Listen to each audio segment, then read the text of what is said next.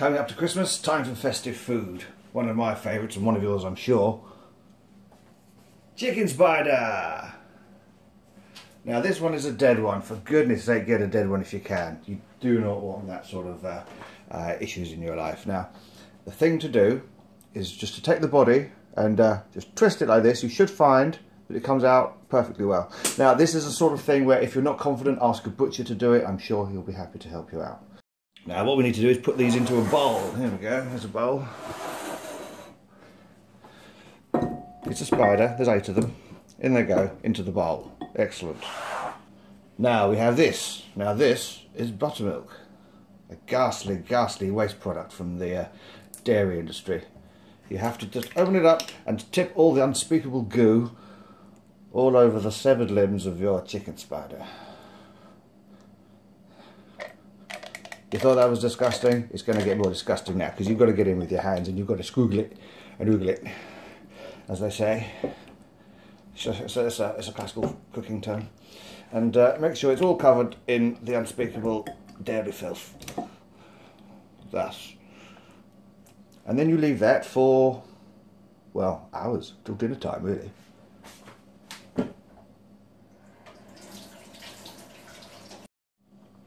Well, it's dinner time now. I've covered it with cling film to keep the beasties out, but uh, otherwise that's been in there for about seven hours. Is that too much? Ooh, maybe. Now then, maybe like bowls, because we need another one. Big bowl, big bowl. Now in this bowl we're going to get some of this. We got, um, it's just plain flour. And it goes. And uh, very careful that you measure out, I don't know, some. And make sure you've got some. There you go. I've got maybe three handfuls there. I don't know. It's not important. Or maybe it is important, I just don't care if it's important or not. That's probably prob uh, my problem. Now, some salt as well. Some salt as well, because chicken and know, like salt. Mix it all the way up. Now, we have some spices. Oh, now this one is you need a little tiny bit of chili powder. Actually, it's quite a fatty thing, this, so you're going to lose all the heat in the fat. Then you need a little bit of this. This is um, garlic. Yeah, I'm reasonably sure that's garlic. Now, you can kind of add a little bit. You can kind of make it up as you like. This is a bit of paprika. Paprika. And then let's have a little bit of pinch of cumin as well. What the hell? What the hell? Now, if it's not hot enough, I'm going to use the dipping sauce to make it super hot. Anyway, so I don't even care. I don't even.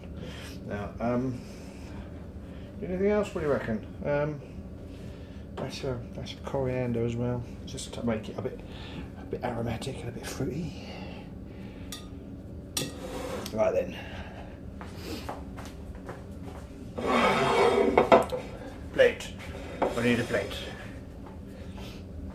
Now then, our chicken, just going to shake a little bit off and then dump it in um, the crumbs of the bread.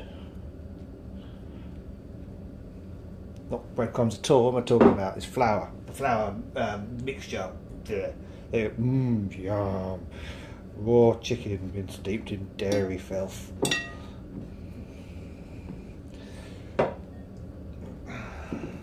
Keep going. I mean, totally just roll them around until they don't pick up any uh, any other stuff.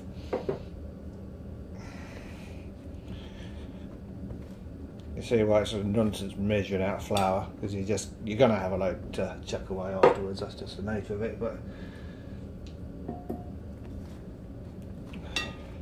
just have enough everything. There's lots of salt and burn and uh, stuff. Good. And eight on a chicken spider, as we said before.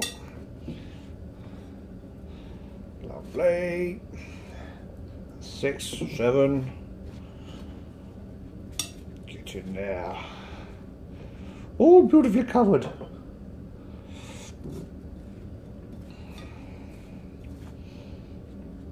Super, super. Now, you'll see what we're left with is the vile, slightly blood-stained uh, buttermilk, which makes a, a lovely lukewarm drink. Um, it'll keep for, I don't know, months. As long as it's still liquid, you can drink it, enjoy. Big pan and some oil. Uh, uh, da, da, da, da. You can deep fry them, I suppose, if you've got a deep pan, but this is a good size frying pan, this will do. And it doesn't have to cover them, because you'll be turning them, but oh, I'm going to throw it all away afterwards. I might as well use it all.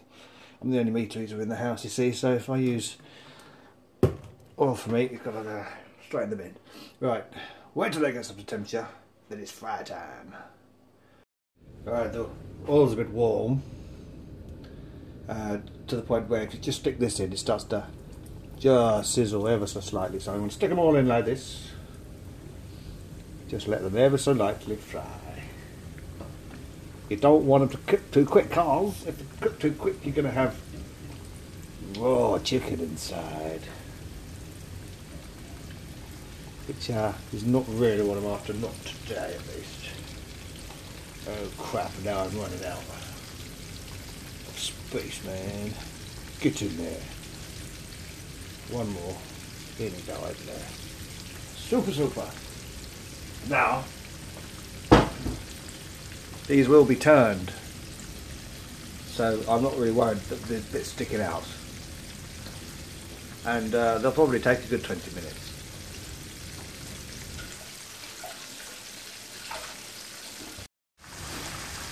Well, we're coming up to 20 minutes of boiling in oil now, so um, well, they're starting to look the part.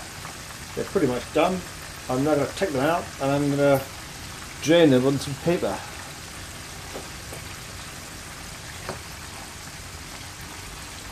Hot.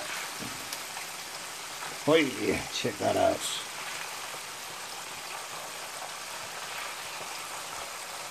Did mention earlier, this is uh, rapeseed oil oilseed rape. What? Oily rapeseed. I, I don't know. I don't know. It's the one that's yellow and goes in the fields. Ah, oh crap. There we go. no. And that brings us to perfection. The ultimate fried chicken drumstick. Just needs a little garnish. Beautiful. So I, am going to try and keep the ratio one drumstick to one beer and uh, see if I can get it all in before it gets cold. Hooray for fried chicken!